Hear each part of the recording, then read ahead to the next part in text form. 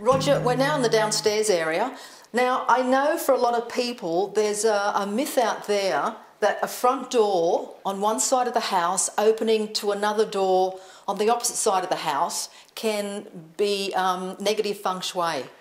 Well, Robyn, it's, it's, it's very interesting because uh, there's lots of feng shui books now, and uh, readers, you know, they will read something about feng shui like this, you know, front door and back door, and then um, sometimes they start to freak out about their house, etc. Um, everything is uh, in relationship and everything is in a scale. And that dynamic, for instance, the front door and the back door, it's usually applying to where there's a corridor and it's, you know, from the front door you can see the street and the energy is like rushing through the house and dividing the house.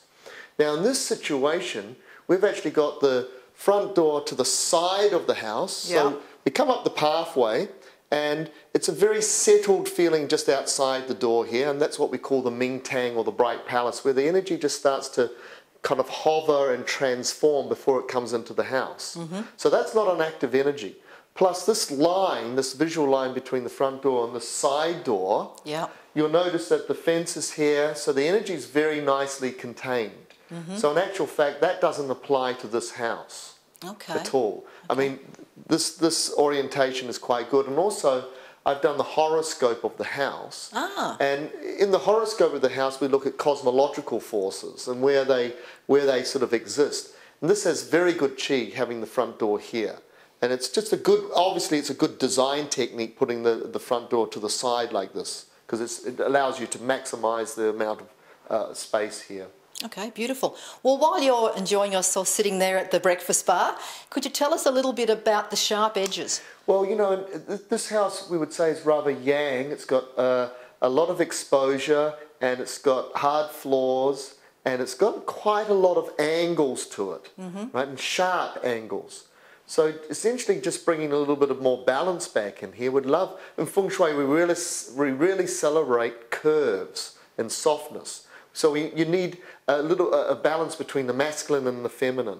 So um, I would suggest that when they're getting around to perhaps redesigning the kitchen a little bit, that they could easily simply just integrate, you know, a more curved, more softer Yes. bench top. Yep. That way you could um, distribute the chairs evenly around it. becomes a wonderful center for, you know, human activity, which we call the Ren Chi, which is this Chinese word that means heart chi.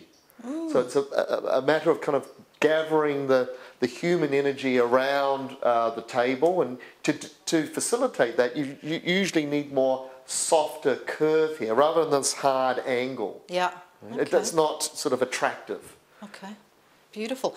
Behind you, those flowers, they would be good yin and yang energy, wouldn't they? They're wonderful. Yeah.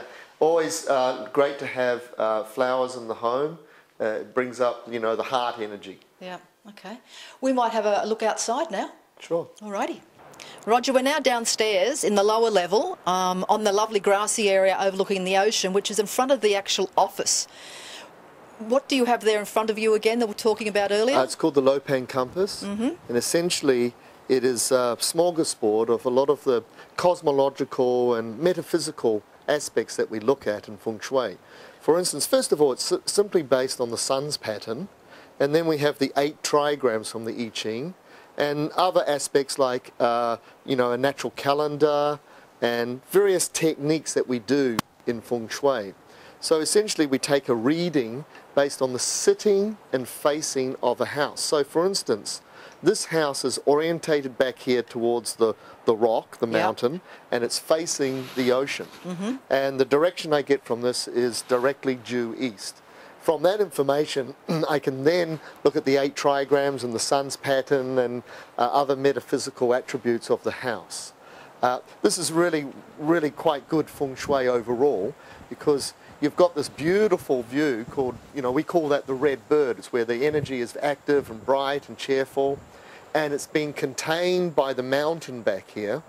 And you'll see that it's like what we call a little armchair, the sort of feeling of sitting back into an armchair. It's cradled, isn't it? It's a cradle. By nature. nook, you know, very Yeah. good. You know, and that's the definition of feng shui is you know finding the areas where the land and the ocean meet and it generates a good charge of energy.